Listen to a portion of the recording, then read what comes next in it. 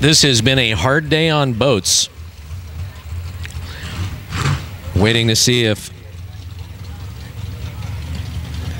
see if um, what the condition is for boat 76 in the Swindoll camp.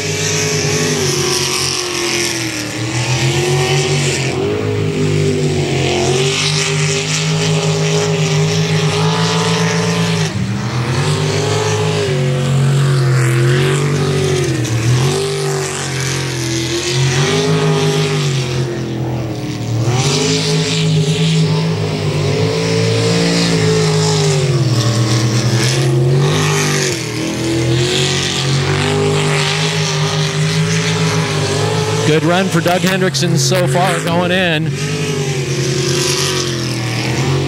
Now he does the loop de loo, and it's the hard charge for home. And it's good. Clean run with 48.377. So our fastest boat, at least in the Q3, would be